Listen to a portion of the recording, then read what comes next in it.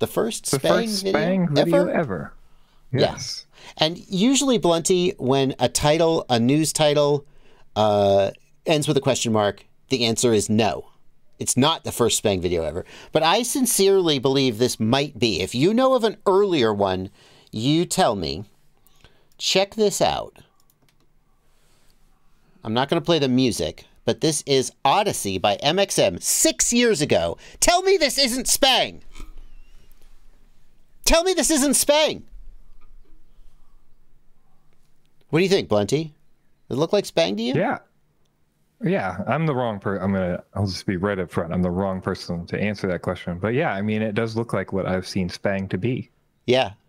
It's got that sort of twitchy back and forth. It, it is clearly like an early version of Sbang.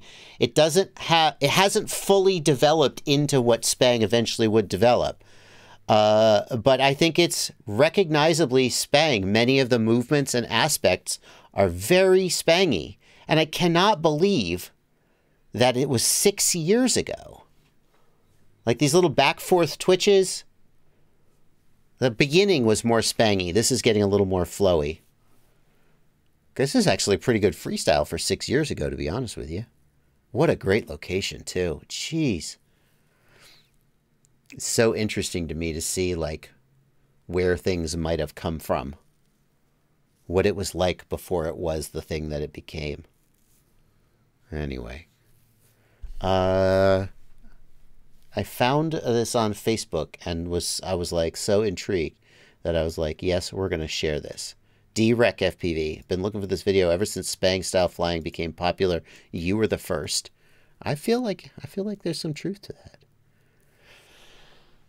Where is this location? Do we know? For people that don't know what Sbang is, what, how would you define Sbang other than saying Oh. doing? I mean, should we just um is Marius a Sbang pilot? Who's uh who's a good I mean there's I'm gonna insult whoever I didn't uh play. Like Sbang is an extremely dynamic st- God, Marius is so good.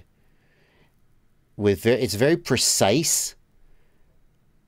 This is almost flowy Sbang lots of sort of locks, um, isolations, if you will. How about Farouk? It's not Sam says stick bang, lower rates full stick deflection. Does that sound about right? That's uh, that seems right. Yeah, I mean, I'm certainly not one to define Sbang. Farouk's very good. These are some Sbang pilots. Uh, Sbang, I think, is often done in a field around trees. It's not necessarily done proximity to obstacles as much as uh, some other styles. Now, some people have conjectured that Sbang was invented by people who didn't have like urban canyons to fly in. They just had sort of prairies with trees and needed to make it interesting. Uh, oh, so good. Also, kind of, uh, anyway, this is Sbang. Also, kind of difficult for some people to watch, perhaps.